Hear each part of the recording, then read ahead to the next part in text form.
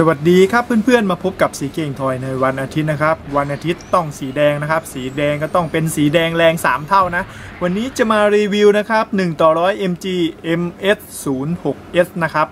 ชาร์ซาคุ2เวอร์ชันนะครับ ก็คือเวอร์ชัน2นะ เป็นเวอร์ชัน modify นะครับ box art กล่องก็จะเป็นลักษณะเจ้าซาคุสีแดงถือบาซูก้านะครับ ออกมาจากน่าจะเป็น สถานีอวกาศนะครับ พวก colony อะไรแบบนี้นะ ตัวนี้ก็เป็นชาร์นะครับของชาร์ขับนะครับสเกล1ต่อร้อยมาจากซีรีส์กันดั้มนะครับ0079 นะครับ ออกผลิตตั้งแต่ปี 2007 นะ ตัวนี้นะครับ ขนาดแพ็กเกจเนี่ยคือกล่องผมไม่มีนะ ก็ต้องหาข้อมูลใน Google แทนนะครับ ขนาด 31เซนติเมตรคูณ20เซนติเมตรนะครับ สูง 13เซนติเมตรขนาด 660 กรัม อันนี้ก็เป็นกล่องนะ ราคาซื้อขายในประเทศไทยอยู่ที่ 1,350 บาทนะครับนะก็ขอเกินก่อนเลยนะครับ หุ่นกันพราวในเป็นเกรดมัสเกตตัวนี้นี่เป็นหุ่นลบโมบิลสูตรของฝ่ายซีออนก็คือฝ่ายเอ่อถ้าพูดเป็นภาษาบ้านเราก็โตโกงอะนะ ผู้ขับก็คือชาอันนาเบิลนะครับ ผู้ได้รับฉายาว่าดาวหางสีแดงที่ผมเคยรีวิวเจ้าตัวซีนันจูไปนะครับ หลังจากชาร์เนี่ยได้ใช้บาซูก้าถล่มเรือรบนะครับ จมไป 5ลำนะ ตัวเนี้ยใช้บาซูก้ายิงเรืออวกาศเนี่ยห้าลำเลยนะครับ ถ้าเกิดตามความอ้างอิงในนวนิยายของกันดั้มเนี่ย ตัวเนี้ยสูงที่ 17.5 เมตรนะ ก็สูงขนาดไหนลองคิดดูนะครับ ก็อาวุธก็จะมีนะครับ ปืนไรเฟิลนะปืนกลมีบาซูก้านะครับ ตัวซาคุแดงนี่ก็ได้ทำสีเมทัลลิกนะครับ โดยฝีมือของน้องฮันนะครับ ก็เอามาฝากวางไว้บ้านผมนะ ประมาณ 3 ปีแล้วไม่รู้จะเอากลับตอนไหนนะครับ ก็ขอเซลนิดนึงนะครับ ก็ทำเป็นสีเมทัลลิกนะครับคล้ายๆเซนโกคุ ที่ผมเคยรีวิวไว้ก่อนหน้านี้นะ แต่ตัวนี้ได้ทำการดายบัตรให้มีร่องรอยของการสู้รบนะครับ มาเรามาดูจุดขยับกันก่อนเลยเดี๋ยวขอซูมไปที่ส่วนศีรษะก่อนเลยนะครับ รายละเอียดศีรษะเนี่ยก็จะมีเหมือนเป็นท่อพลังงาน แล้วก็มีเขาแหลมๆนะครับ จุดขยับก็ไม่มีอะไรมากนะครับ ก็คือสามารถหันได้นะครับหันได้แทบจะ 360 องศาเลยนะนะครับแต่ก็เหมือนเดิมนะครับไม่กล้าขยับแรงเนื่องจากทำสีแล้วเดี๋ยวสีจะถลอกนะครับ ด้านข้างก็จะมี dry ปัดให้เป็นรอยถลอกนิดนึงนะครับ เป็นสี metallic นะตัวโครงก็คือ dark stainless นะครับ dark stainless เนี่ยมันจะเป็นสีดำที่สะท้อนต่อแสงนะครับ ส่วนช่วงไหล่ก็สามารถขยับได้ประมาณนี้ องศาได้ประมาณแค่นี้นะครับ แล้วก็ขยับหน้าหลังได้นะครับ นิดหน่อย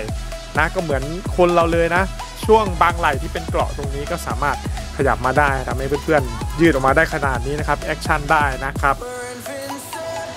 อ่าขยับลงมาดูตรงข้อต้นแขนก่อน ต้นแขนก็จะเป็นขยับ 2 step 2 step อ่าก็คือขอหันนะครับ ได้ประมาณนี้เลยก็คือช่วงต้นแขนตรงนี้แล้วก็ช่วงข้างล่างต้นแขนข้อ 2 นั่นเองนะครับ ก็ขยับตรงนี้แล้วก็ขยับตรงนี้นะบางแขนหลุดไม่ได้ติดกาวนะครับ มาดูในส่วนด้านหลังก็จะมีเป็นท่อพลังงานก็เป็นไอพ่นขับเคลื่อนนะ เวลาไว้บินในอวกาศนะครับ ก็ขยับได้นิดหน่อย ก็คือปรับไว้ถ่ายรูปตามองศาในลักษณะที่เราอยากแอคชั่นนะครับ นี่ด้านหลังนะ ก็จะเป็นลักษณะอย่างนี้ขอหมุนมาด้านหน้าเหมือนเดิม ให้มาดูช่วงเอวนะครับ ช่วงเอวก็จะมีเป็นลักษณะเด่นของซาคุเวอร์ชันนี้นะ เนื่องจากมันเป็นแอนิเมชันตั้งนานแล้วนะ ผมก็ไม่แน่ใจว่าปีเท่าไหร่นะครับ เพราะว่ามันออกมาก็รุ่นรุ่นเดียวกันกับคุณปู่ RX 78แต่นี้จะเป็นเวอร์ชั่น 2 นะ นะครับ ตรงเอวก็หมุนได้นิดหน่อย มันจะติดกระบังผมเรียกกระโปรงกันด้ามแล้วกันนะครับ ด้านข้างก็จะเป็นจุดเด่นไว้ปิดช่วงล่องขาตรงนี้นะครับอ่าอ่าอีกนิดนึงนิ้วมือเนี่ยขยับได้ทุกนิ้วนะ จะขยับให้มันมีอิสระในลักษณะของการกำแบนะครับ ตรงนี้ไว้หยิบจับอาวุธปืนนะ ก็ดีเลยทีเดียวนะครับ ขยับออกอีกนิดนึง ในส่วนของต้นขาครับ สังเกตว่าเราเปิดกระโปรงด้านหน้าตรงนี้ปุ๊บเราสามารถยืนได้เนี่ยนะระดับระนาบกับพื้นเลยนะครับ ประมาณนี้นี่นะครับ จุดขยับก็ไม่มีละอะไรมากนะครับ ก็เป็นจุดหมุนตรงนี้ ส่วนหัวเข่าเนี่ยก็2สเต็ปเช่นเดิมก็คือช่วงต้นต้นขาด้านบนด้านล่างสิ แล้วก็ต้นขาด้านบนตรงนี้นะครับ2สเต็ปทำให้การงอขาเนี่ยจัดท่าคุกเข่าเนี่ยก็จะง่ายนะ เดี๋ยวผมลองนี่นะครับ มันก็ได้ประมาณนี้นะครับนะในการเอียงขา ส่วนข้อเท้าเนี่ยลักษณะมันเป็นจุดเด่นของซาคุอยู่แล้วก็คือ เท้าใหญ่มากนะครับ ก็ประมาณนี้ก็จะเป็นลักษณะป้อมๆนะ มีท่อพลังงานจากหัวเข่าจากต้นขาบนมาข้างล่างก็เป็นจุดเด่นอีก อย่างหนึ่งนะครับของซาคุนะอะซูมออกนี่นะครับก็จะเป็นคร่าวๆนะของซาคุนะก็เป็นหุ่นยนต์ที่มีลักษณะของการดีไซน์คลาสสิกเลยทีเดียวนะครับ คนสมัยนั้นเนี่ยตั้งแต่ 30-40 ปีทำไมออกแบบมาได้แจ่มขนาดนี้นะ แต่ตัวนี้เป็นเวอร์ชัน2 ไม่ใช่เวอร์ชัน1นะครับ เวอร์ชัน1ก็ลองsearch เข้าไปดูนะครับ ในอนิเมะนะมีมีแน่นอน ยืดคู่คุณปู่อะอ่าคุณปู่ X78 นะครับ นี่ก็เป็นรายละเอียดของซาคุและจุดขยับเบื้องต้นนะครับ เดี๋ยวลอง action เท่ๆซักมุมดูนะครับ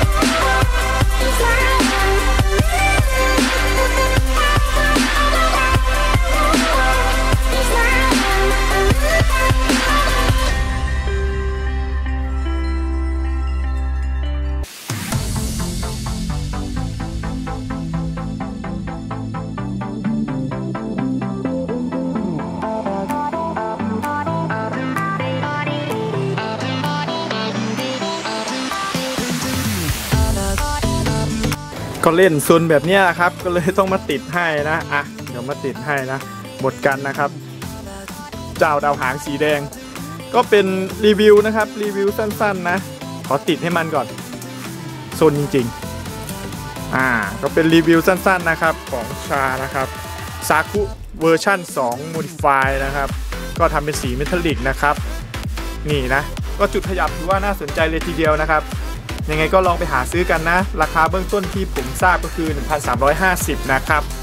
ก็รีวิวสั้นๆนะครับ พร้อมแอนิเมชันแบบกากๆนะ เพิ่งหัดทำนะครับทำยากเหมือนกันนะเนี่ย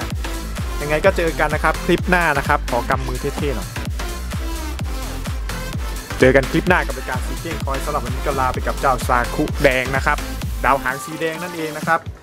นะ เข้ากับฉากได้เท่พอสมควรเลยนะ เจอกันคลิปใหม่ได้ทุกวันกับรายการซีเก้งทอยนะครับสำหรับวันนี้ก็ลาไปก่อนสวัสดีครับ